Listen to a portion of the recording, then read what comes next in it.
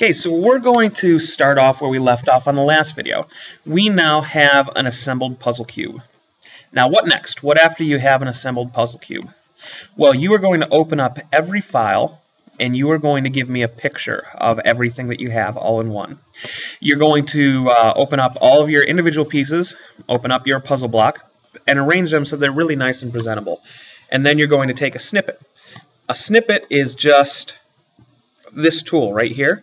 Click on Snipping Tool, and you simply drag it across, and it takes a picture of what you actually want to display. So you're going to take a picture of all your work right there. Now besides the snippet, you're also going to do a presentation. And this is a presentation. A presentation is basically an exploded view of all your pieces. It's pretty darn cool. Um, now the neat thing about presentations is you can also animate them. So if you wanted to actually go transformers up in here and have your block assemble on the screen, you can, which is very, very cool. Um, so let's go ahead and actually make a presentation so you can see what all is involved. Um, we are going to Autodesk Inventor, uh, New, and then Presentation right there. Create the view, and we're going to import our finished puzzle cube. Click OK. Um, now one thing I should show you, let me show you this really quick. You can do this automatically. Okay, when we create a view, you can click on automatic and it will automatically explode it. So you can, let's say we want them two inches apart and see it automatically goes ahead and gives you an exploded view. It's not always the most attractive exploded view, which is why I really don't like doing the automatic. I like doing manual so we have a little bit more control over um, what we're actually doing. Now from here, I'm going to click on Tweak Components and keep it on Direction. And let's see, I'm going to want to take this in that direction right there. Now also, I can take it in the uh, X direction. So you see right here it has the X, Y, Z, and X, Y, and Z is coming out at me. So I can tweak this however I want. So let's say I want to rotate this a little and I want it to come out this way. See that blue line? That's called a trail origin. And it's pretty cool. That is basically the assembly way that it's going to go. So I tweak that component right there. Now, let's see, I'm going to rotate so I can choose my next component and I have my green L.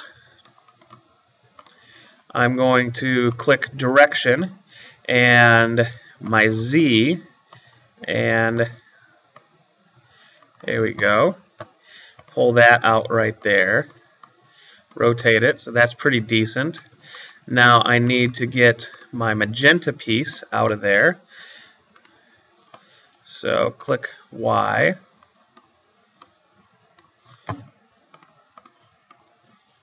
Okay, and now, let's see, just my orange piece really has to be disassembled. So, direction and X. There you go. Zoom out, and everything is apart.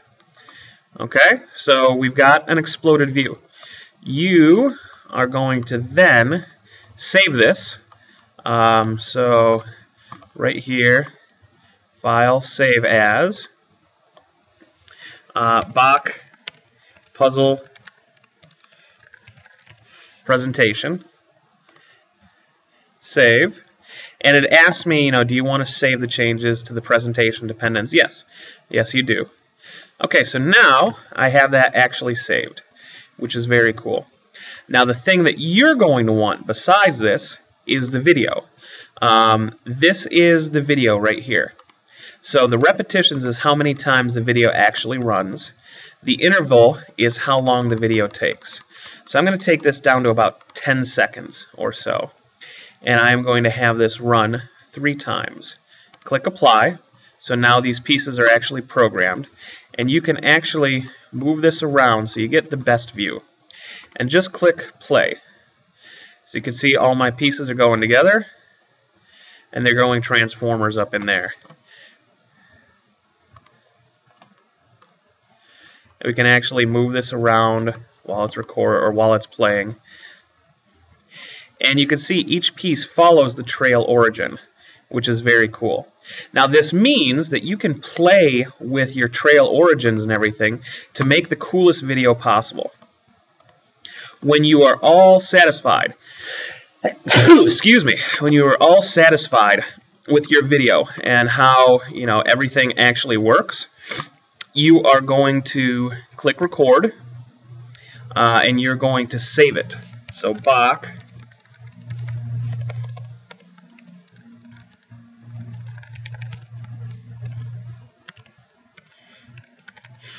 uh, Bach Puzzle Pleasant Presentation video. Click Save. Then you, what image size you want it the biggest. You want it, you know, pretty good. And then when you're ready for it, you just click play. And this now makes a video, a movie, of what your block actually is.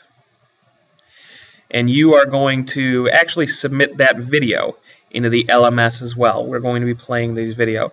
So make your assembly as complicated and as cool as you want to, the trail origins. Have it repeat about three or four times so we get a good look at it. And when you are all said and done, you are going to submit that video.